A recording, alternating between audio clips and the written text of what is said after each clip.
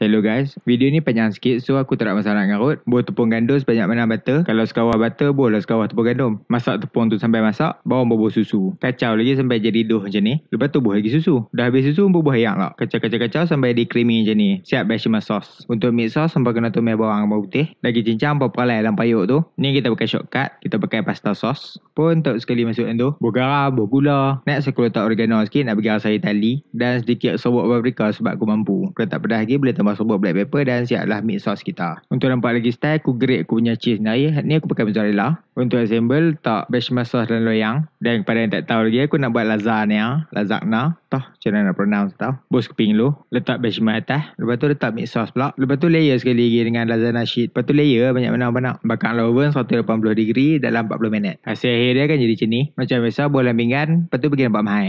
So, siaplah kita punya batch lasagna. Batch lasagna.